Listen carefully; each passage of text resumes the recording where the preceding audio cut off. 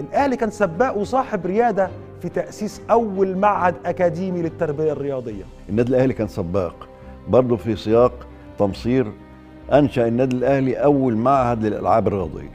المعهد ده كان الدراسة فيه ثلاث سنين وبتدرس فيه كل الألعاب الرياضية قوانينها والتكنيك الحركي وكل ما يتعلق بده. بعدها بسنة كمان أدخل النادي الأهلي في المعهد ده قسم للتحكيم. دراسة قوانين التحكيم في كل الألعاب. يعني كان معهد متكامل. يخرج حكام ويخرج مدربين ويخرج دارسين. المعهد نفسه استمر خمس سنين. لماذا توقف؟